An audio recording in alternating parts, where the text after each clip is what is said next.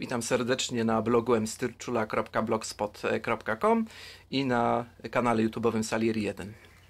Dzisiaj chciałbym skomentować film Ostatnia Rodzina. E, debiut filmowy, bardzo zresztą udany Jana Matuszyńskiego, młodego, młodego reżysera, który ma szansę być może kiedyś przejąć schedę po już bardzo mocno leciwych e, Wajdzie, czy Kucu, czy innych jeszcze żyjących e, tuzach polskiej, polskiej reżyserii. A film Ostatnia Rodzina zebrał laury na festiwalu w Gdyni i zebrał je, myślę, nie bez kozery. Na filmie byłem wczoraj, dałem sobie czas, żeby troszeczkę i ochłonąć i ten film przetrawić, e, poszukać mimo wszystko jego y, wad, jego pewnych minusów. Takie też się znajdzie, choć film raczej no, nastraja taką nadzieją, że Polacy umieją robić filmy e, naprawdę dobre ja nigdy w to nie wątpiłem. Wątpię jedynie e, w polski talent komediowy, bo od dobrych komedii polskich minęła, minęło już parę lat, e, parę naście właściwie. Moim zdaniem one się kończą gdzieś w okolicy poranku Kojota i od, tamtej, od tamtego momentu mm, nic, nic godnego uwagi nie powstało, no ale to zostawmy na inną, na inną dyskusję. E, może najpierw coś o, o, o tematyce filmu Ostatnia Rodzina. Opowiada ona, to jest film biograficzny o rodzinie Beksińskich. E, Zdzisław Beksiński, bardzo znany polski e, artysta, rzeźbiarz, fotograf, malarz. No przede wszystkim znany z zdeformowanych ludzkich ciał, które pojawiają się w jego twórczości stale. Są to czy motywy związane z, z bólem, e, cierpieniem jakichś istot właśnie ni to zwierzęcych do końca, ni to ludzkich, e, motywy pasyjne też, e, krzyż jako źródło cierpienia i odwołania do chrześcijaństwa też są obecne, jakieś motywy sadomasochistyczne, erotyzm taki specyficznie przez Beksińskiego pojmowany, bo łączony z bólem, no to wszystko każe nazwać Beksińskiego artystą rzeczywiście takim nietuzinkowym, jedynym w swoim rodzaju. E, dlatego też jest to bardzo dobry materiał, już tak obiektywnie rzecz ujmując, na, na film jego postać, tylko jego postać. Natomiast to jest film jeszcze o e, jego żonie, takiej, można powiedzieć, matce e, Polce, przynajmniej tak ona była przed, e, przedstawiona, e, no i o synu.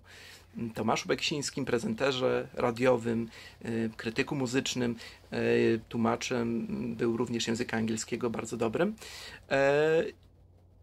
I też, też, no też to była postać, która zapisała się chociażby tym, że wprowadziła do Polski, niejako zapowiedziała, a potem, potem wprowadziła moją ulubioną muzykę mm, z gatunku e, rocka gotyckiego, synth-popu, e, zimnej fali. No, Beksińskiemu można tutaj, jest za co mu dziękować. Mm, co o samym filmie?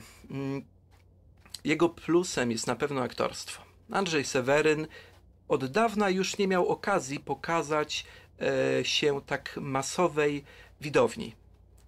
Większość zapamiętała go może ostatnio czy z pana Tadeusza, czy z e, roli e, z Ziemi Obiecanej, e, zresztą, zresztą też bardzo dobrej, ale właściwie, właściwie to nie było takiego, takiego przebicia się, takiej okazji do przebicia się jak tym filmem no, egzamin został zdany moim zdaniem przez niego znakomicie, bo Zdzisław Beksiński sportretowany przez niego jest taki właśnie, jakim Beksiński jawił się na co dzień. Y, bardzo zdystansowany i do swojej twórczości, i do życia, ironiczny, y, wręcz zabawny chwilami, nie rozumiejący za bardzo y, przestrachu, jaki był związany z jego dziełami. No a patrząc na to, co Beksiński namalował, no, nasuwa się jednak raczej taka myśl, że musiał to malować człowiek pogrążony w jakiejś wiecznej depresji. Ja mam wrażenie, że ten film jakoś pokazuje nam Beksińskiego jako tego, kto poprzez swoją twórczość pozbawiał sam siebie, uwalniał z siebie wszystkie demony, ażeby później, że tak powiem, funkcjonować w miarę normalnie. Czy ta rodzina była normalna, czy nie, no to polecam też obejrzeć film, ale przynajmniej Beksiński sprawiał wrażenie takiego, który się nie przyjmuje. I taka jest też postać, e, jaką odgrywa e, Andrzej Seweryn. E, można jedynie tutaj zarzucić może tylko to, że starzenie się aktora nie jest aż tak wyraźne, jednak tam mamy od 77 roku akcję aż do 2005, do śmierci Beksińskiego. Nie widzimy tu aż takiej wielkiej różnicy, ale mi się wydaje, że to jest akurat zarzut taki, do którym można przejść na porządku dziennym, bo, bo nie, jest, nie jest to aż tak ważne. Tomasz Beksiński jest zagrany przez e, Dawida Ogrodnika, młodego, e, młodego też aktora, bardzo obiecującego, e, który, no właśnie, który może być uznany za naprawdę taką światłą postać e, przez jednych, tych, którzy na przykład z Tomaszem Beksińskim nie mieli styczności wcześniej, a z drugiej strony już pojawiają się głosy krytyczne w stosunku do wykreowanej przez niego postaci w tym filmie, e, ponieważ Tomasz Beksiński ani nie mówił takim tym, tym, tym, tym głosem, jakim on mówi w filmie. Nie był aż tak neurotyczny na zewnątrz, jak, jak jego neurotyka zagrał e, Dawid Ogrodnik. No to jest pewna inwencja reżyserska. I ona, tak jak mówię, może razić, bo nie mówimy tutaj o postaci żyjącej lat temu 300 czy 200. Nie mówimy o Van Goghu. Y, Tomasza Beksińskiego z, pamięta wielu, również ja. Y, byłem wtedy no, młody bardzo, jak, y, że tak powiem, słuchałem tych niektórych jego audycji, ale, no, ale pamiętam ten jego, jego ton. To jest pewnego rodzaju wartość dodana przez reżysera, przez aktora. Ja to szanuję. Wyszło jak wyszło. Dawid Ogrodnik zagrał świetnie zagrał świetnie, bo zagrać postać bardzo dobrą albo bardzo złą jest na pewno łatwiej niż zagrać właśnie takiego. Mm, takiego neurotyka, który ma swój wewnętrzny, bardzo skomplikowany świat i który bardzo wyraźnie się odróżnia od takiego statystycznego Polaka, również, również tym sposobem artykulacji, e, gestami. Może rzeczywiście Tomek Beksiński taki do końca nie był, ale no tu, tak jak mówię, reżyser i aktor ma też prawo do jakiejś, jakiejś swojej wartości dodanej. Jest też właśnie matka Polka, grana przez aktorkę, przepraszam imienia, teraz nie pomnę, nazwiskiem e, Konieczna, e, która, no właśnie, która jest, to jest też fantastycznie zagrana postać, bo ona gra osobę wyciszoną, przejmującą się bardzo rodziną, dobrotliwą w tym swoim zajmowaniu się wszystkim, e, chorą matką, e, chorą teściową, y, troszczącą się o syna, o męża, y, mimo tego całego wariactwa, jakie tam miało miejsce, y, mówię tutaj o kręceniu przez Zdzisława Beksińskiego całego ich życia właściwie. Kręceniu od kiedy miał kamerę, a wcześniej robieniu zdjęć w najdziwniejszych możliwych sytuacjach, łącznie z takimi, których no, raczej my byśmy nie uwieczniali. My, mówię, statystyczni mieszkańcy planety Ziemia. No, czyjejś śmierci raczej z bliskiej rodziny się nie, y, nie uwiecznia w aż tak y, bez, bez, bezprecedensowy sposób, jak to robił Beksiński. No, ona to starała się znosić i gra właśnie tam może nie taką do końca cierpiętnicę, bo ona też potrafi się i, e, i, i postawić i, i nie, da, nie daje sobie dyrygować. Ona właściwie ten dom Beksińskich stara się prowadzić ale, ale robi to z takim. Mm, z takim właśnie zacięciem, dlaczego tu użyłem słowa matka Polka? No bo właśnie to jest takie zacięcie e, charakterystyczne dla kobiet, może przede wszystkim z prowincji, choć nie tylko, które są pogodzone ze swoją rolą. Niełatwą bardzo, e, ze swoim cierpieniem, które jest ich codziennym e, chlebem, do którego one są przyzwyczajone i na co nie narzekają. Czym ten film się wyróżnia? Jeżeli ktoś lubi muzykę Tomasza Beksińskiego, dlaczego powiedziałem o tym, że to jest temat samograj? że ten temat trudno zepsuć, bo to trudno zepsuć ten temat, jeżeli są aż dwie tak wyraziste postacie, e, jak Tomasz i Zdzisław Beksińscy. No, bo jest też i muzyka.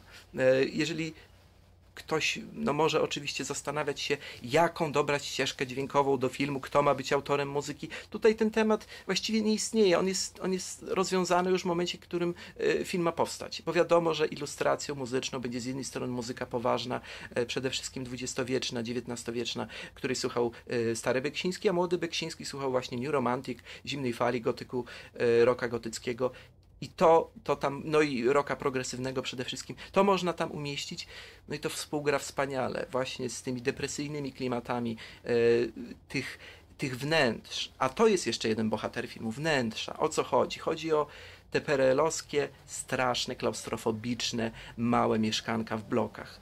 Ja sam żyję w bloku i można powiedzieć, nie zauważam tego na co dzień, ale patrząc na ten film oczami kogoś, kto w bloku nie mieszka, to jest tam duszno, aż, aż czasami nieprzyjemnie, aż chce się wyjść na powierzchnię, na powietrze, na jakiś, na jakiś y, nie wiem, zieloną łąkę. Bo rzeczywiście z jednej strony jest to duchota małych klitek, a z drugiej strony to jest duchota spowodowana obecnością zbyt dużej ilości y, ludzi w zbyt małym pomieszczeniu. Bo tam w 1977 roku, a tu zaczyna się akcja filmu, y, mieszkają tam i, i Tomak Beksiński, i, i jego matka, i jego ojciec, y, teściowa i, mm, i matka. I cóż, ten film można powiedzieć, dotyka wielu takich kluczowych spraw i uniwersalnych e, z punktu widzenia życia rodzinnego w ogóle. Jakie są relacje w rodzinach, bardzo wielu, e, jakie być powinny, jakie są, czy można je rozwiązać rozmową, czy jesteśmy w stanie siebie tak naprawdę poznać, czy kształtujemy siebie poprzez wzorca, wzorce brane od rodziców, czy jednak ważniejszy element stanowi to, co my sami sobie wykoncypujemy w głowie i co sami jakoś staramy się w swoim życiu wprowadzać. To jest film właśnie trudny, bo może nie każdy e, jest w aż tak pogmatwanej sytuacji, w jakiej był Tomek Beksiński mm, i, i on sam, bardzo trudny, mając charakter y, i obcując z ojcem o równie trudnym charakterze, no może on się, on się wyróżnia i na pewno się, na pewno się wyróżnia, czy na plus, czy na minus, to już sobie można dopowiedzieć po obejrzeniu filmu i po poznaniu w ogóle prawdy o tym człowieku, a ona oczywiście nie, zajmuje, nie zawiera się tylko w filmie, a jest daleko, daleko, szersz, daleko szersza, głębsza. E, no ale ten film to jest właśnie przyczynek do tego, żeby spróbować pomyśleć o własnych relacjach rodzinnych, jak to w naszych rodzinach wygląda co jest chore, co trzeba naprawiać, czego się już naprawić nie da, na co jest za późno, czy jesteśmy w stanie ze sobą rozmawiać otwarcie, czy nie jesteśmy w stanie w ogóle ze sobą porozmawiać szczerze. E, tam niby szczerość jest, bo rozmowy się z jednej strony nagrywa, to Zdzisław Beksiński miał obsesję nie tylko nagrywania na, za pomocą kamery czy robienia zdjęć, ale również nagrywania rozmów rodzinnych na trudne rodzinne tematy. E, a z drugiej strony mamy no właśnie tego, y, tego Tomka, który starał się zamykać i tą rękę odtrącać. Takie zdania zresztą padają w filmie podczas rozmowy długiej zresztą z matką.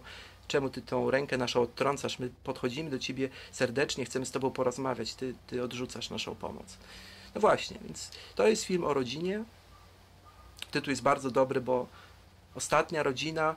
Yy, nie chodzi o to, że jest to ostatnia rodzina, jaka istniała na Ziemi, ale o to, że ona jest ostatnia, bo takie ma się wrażenie po, po napisach końcowych. Że tak jak po kolei, jak figurki na szachownicy odpadają ci kolejni członkowie rodziny, tak gdy odchodzi w straszny, straszny sposób Zdzisław Beksiński, brutalnie zamordowany, zamordowany bez sensu dodajmy, jedna z głupszych śmierci, jaką sobie można wyobrazić, e, to tak jakby zniknęła rodzina w ogóle. W sensie żadna inna rodzina już nie może powstać, nie może żyć po tym, jak odeszła ostatnia osoba z rodziny Beksińskich. To jest rzeczywiście taki punkt, kiedy następuje taki koniec, koniec historii. Koniec historii w sensie koniec filmu i koniec rodzin jako takich. Ma się takie wrażenie, bo tak jak mówię, ten film jest zbudowany w ten sposób, że sukcesywnie odpadają kolejne, kolejne osoby. E, matka umiera e, na guza mózgu, Mm, jeśli dobrze pamiętam, w 1998 roku. Rok później samobójstwo popełnia Tomasz Beksiński. W 2005 roku, czyli jeszcze parę lat później, zamordowany zostaje Zdzisław Beksiński. Ja ten film polecam, bo jest po pierwsze mądry, ogląda się go świetnie, nie ma w nim dłużyzn. Bardzo często można zarzucić niektórym mm, twórcom polskiego kina, kina moralnego niepokoju e, z lat 70., 80., XX wieku, dłużyzny. I one nie zawsze są akceptowalne przez młodszego, zwłaszcza widza. Tutaj ten film ogląda się dobrze, więc w tym sensie jest on masowy i w tym sensie dostał nagrodę publiczności nie bez kozery, bo on, mimo że jest trudny, jest z drugiej strony też i łatwy. Nie ma, mi się wydaje, takiej trudności w odbiorze. Może właśnie że, dlatego, że został zrobiony przez bardzo młodego reżysera. A po drugie, film jest, jest świetnie, świetnie zagrany.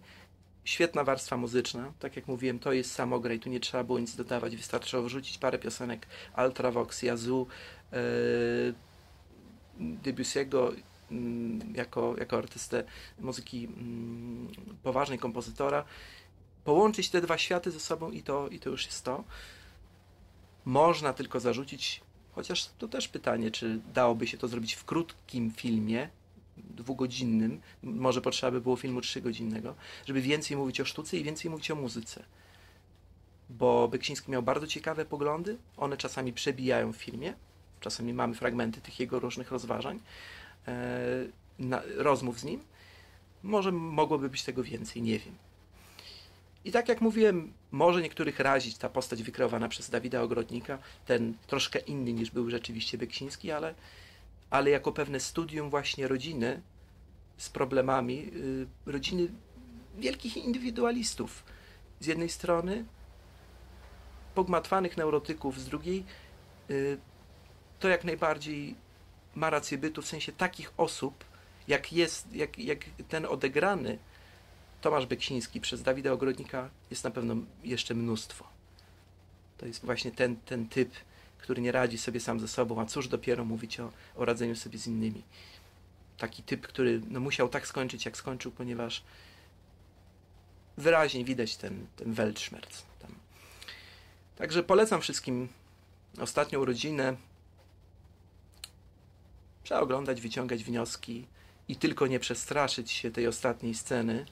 Zdradzać tutaj nie będę, no, nawiązuje ona do, do końca całej, całego rodu, ale w sposób naprawdę bardzo dosłowny. Bardzo jest po prostu taka szokująca ta ostatnia scena. No i piosenka na koniec. Trochę przechodzą ciarki, także lepiej mieć dobry nastrój podchodząc do tego filmu, bo gdyby podejść do niego z nastrojem złym, to nie ręczę na to, co będzie po napisach końcowych. Pozdrawiam serdecznie.